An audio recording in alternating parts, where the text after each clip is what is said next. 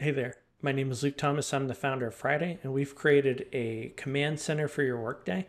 So imagine if you had all of your most important work in one place in a way that complements existing tools, whether it's Slack or your project management tool like Asana.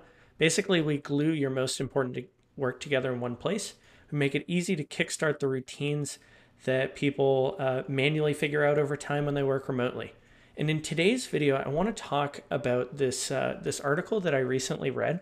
I've seen some research over time, but this is uh, this is probably one of the more interesting pieces, um, or one of the more compelling pieces. But the basic idea is that um, as of let me just see August third, so this was a couple days ago.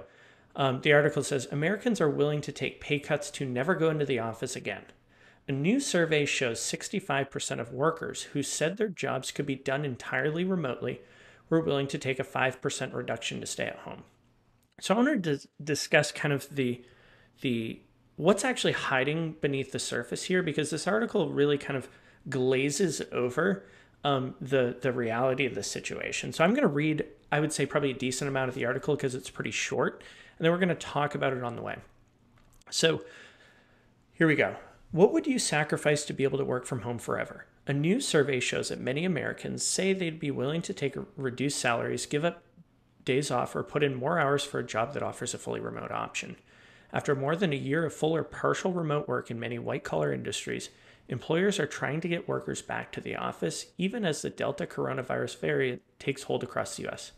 To entice workers back, some companies are holding back to work parties and dishing out prizes, providing free lunch or childcare, or even offering yoga classes. So the first thing I want to mention is that this idea of like offering yoga classes and free lunch, this is nothing new for a lot of companies, right? Google's been doing this for a while. Really any any tech company that has like that is sitting on any amount of cash, like they're doing this already. They they were doing this before the COVID pandemic. And so this I, I I don't really find this to be compelling. This is not like this this is not really a new thing. Um, so let's continue on. Some workers aren't too fond of the prospect, whether they are concerned about their health, have domestic responsibilities that keep them home, or simply don't want to return to an unwelcome commute. An online survey commissioned by Breeze, an insurance company, found that 65% of American workers who said their jobs could be done entirely remotely were willing to take a pay cut of 5%. That could be a rational financial trade off depending on the cost of commuting. A study last year estimated that people were saving hundreds of dollars a month on commuting expenses by working from home. The new online survey conducted by the poll- polling firm Pollfish um, included responses from a thousand people who said that they were employed or looking for work at a job that can be completed entirely remotely.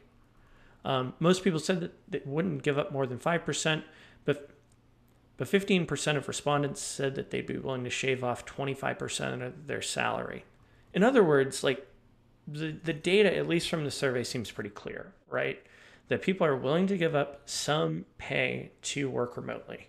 I think the first point I'd like to make is that over time, like we're in this interesting scenario right now where companies don't fully understand, like compensation is really kind of this unknown like, do you pay local rate? Do you pay um, what you might pay like in a major city, or do you do some type of mixture in between?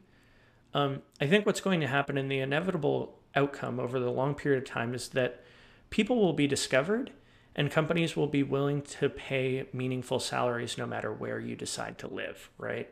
And so this won't happen overnight, but this will happen over time through competition, right? And so if someone has been discovered, their salary, I anticipate, will rise so that they kind of, um, that location just doesn't matter. so some companies have figured this out and they pay really, really well regardless of where you live. And some companies are doing some, like maybe they're paying local, maybe they're paying something, some uh, boost on top of what the local rate is. So this is a huge unknown for business. Um, it's it, it only makes sense that like you know if you're going to cut someone's pay by 25% a lot of people won't take that bargain but the reason why i am recording this video is because you cannot explain this if you simply look at kind of this purely numbers based cost benefit analysis so this article kind of talks about um, a rational financial trade off depending on the cost of commuting. So it is definitely true that if you're not, uh, you know, commuting to the office, spending money on gas or on uh, whatever transportation you use, like you will save money as a result.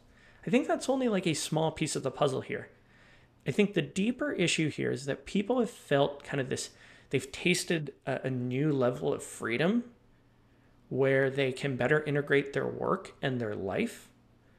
And the idea of spending, let's say, an hour a day, which is uh, the average commute for most Americans, like they think about an hour a day, five days a week, that's five hours a week, or they're not doing something that maybe they like, they're trading something that they might want to do like a hobby or hanging out with their neighbors or like working out on their own instead of going to like the company sponsored yoga class. Um, they are looking at this and saying hey if i have five hours back in my life every week that is worth a meaningful amount of money to me because i could take that time and could allocate it in other ways and this gets to really the, the key point that people really need to understand about remote work. It is not about working from home in an office in your house. It is about this idea and this belief that work is kind of constantly been eating away at your life, whether it's the commute, endless uh, Slack notifications or email notifications after hours, or endless Zoom calls after, you know, when you should be done work. Like, work has basically been intruding on people's lives for many years. And with when people experience this idea of like I can work where I want and potentially when I want, this offers a new sense of freedom that people are just not willing to give up. And if they can't get it back or if they have to go back to the way things were, they will quit and go work somewhere else. And so this is the key key point. It's not about working from home in your home office or whatever. It's about having more freedom in your day, feeling more in control of your life, and being able to kind of this is a once in a long time where the employee can kind of pull back on the reins instead of the company taking kind of this control um, and and continuing to chip away at um, the time in our lives.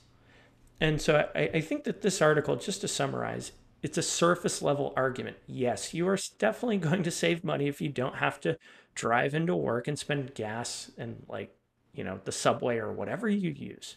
But that is just a tiny, tiny piece of the puzzle here. It is about more freedom in your day. Um, and that is what like people just need to understand. So I hope this makes sense. Um, and I hope this better explains why people are willing to take a pay cut. I don't think they will over time, but this explains why people are willing to take a pay cut to work remotely because it's not about working remotely. Thanks.